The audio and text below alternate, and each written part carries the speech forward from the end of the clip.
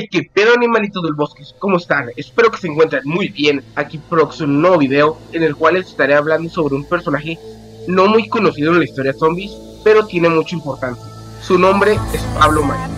Seguramente no conocen muchos a este personaje, pero les daré un pequeño resumen de su historia y la conexión en la historia zombie. Pablo Marinus es un sujeto de pruebas utilizado por el Dr. Richthofen en las instalaciones de Dead Rising él era parte del grupo de sujetos de prueba donde se encontraba Taqueo y Nicolás. Pablo fue sometido a diferentes exposiciones al elemento 115 y eso le generó diferentes visiones. En una de estas habla de los crímenes y cómo le salvaron la vida. Para esta explicación les leeré la carta hizo antes de morir. Mi nombre es Pablo, o al menos creo que se fue, ya no sé. He estado encerrado preso en esta celda durante muchos meses por científicos alemanes. Siguen experimentando conmigo llenándome de energía de algún líquido azul. Creo que es el responsable de las repetidas visiones que he tenido, que juro ver y sentir real. En mi visión me llamo Pablo Marín y soy un caballero que regresa a las cruzadas, en una gran batalla contra extrañas criaturas parecidas a demonios que están tratando de devorar la tierra. En un momento parece que estoy condenado, atrapado en los tentáculos de una gran bestia de tres cabezas, cuando de repente cuatro caballeros la diezman con bastones mágicos elementales salvándome de una muerte segura. Hay otras criaturas mundanas que luchan de nuestro lado contra los demonios.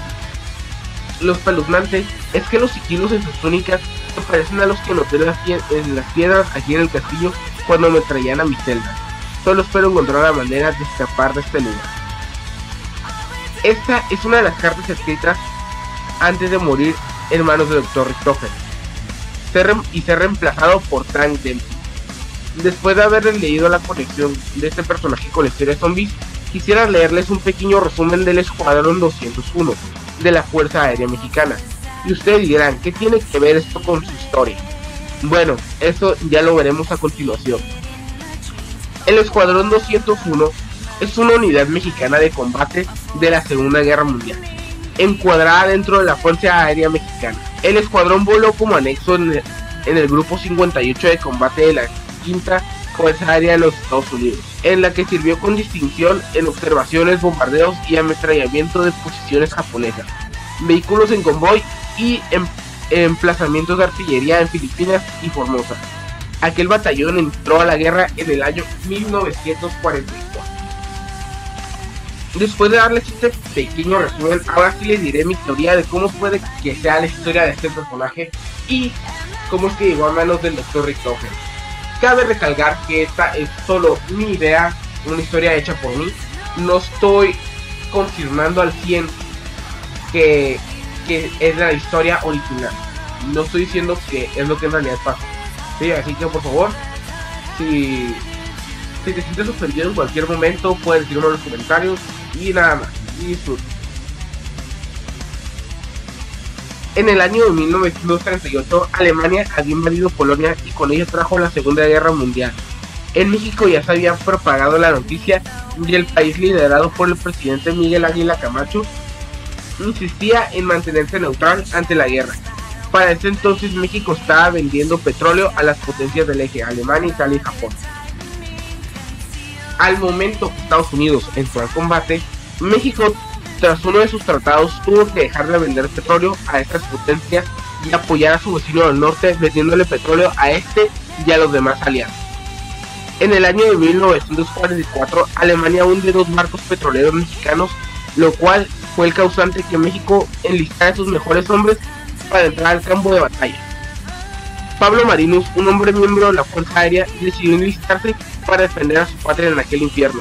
Al momento que termina el enlistado, ya estaba listo el Escuadrón 201 para combatir en tierra.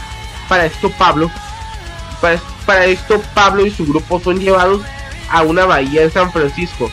Este lugar era donde salían todos aquellos escuadrones dirigidos al campo de batalla. Al momento de llegar a las costas de Japón, una de las primeras misiones del escuadrón al momento de llegar a las costas de Japón, una de las primeras misiones del escuadrón fue bombardear un campo de batalla. En un momento, el avión de combate donde se encontraba Pablo fue derribado junto con su grupo asignado. Para este momento, unos minutos después, llega un grupo de soldados de la División 9, el cual lo captura y lleva hasta las instalaciones de la División 9. Una semana después, el grupo 1 de 35 solicita sujetos de pruebas para experimentar con el elemento 115. Y es aquí donde el escuadrón decide mandarlo a Pablo y a Takeo. Y es aquí donde empieza la historia con Rectofen, las cartas, visiones y hasta su muerte. Bueno, espero que les haya agradado el video eh, y, y pueda que sea cierta mi teoría. Pero nada más. Espero que les haya gustado el video. Cuídense mucho. Nos vemos después. Si en cualquier momento se siente ofendido, no olviden dejar los comentarios. Y nada más. Yo me despido. No sin antes agradecer a quien hizo los hermosos banners. Muchas gracias, bro. De verdad, te, te agradece mucho. Y nada más. También quiero disculparme si es que hubo hubo algún momento en que el micrófono no sirvió, pero no tengo buen micro y además no estoy acostumbrado a hablar con guion. Así que nada más, yo me despido, cuídense mucho, nos vemos después, adiós.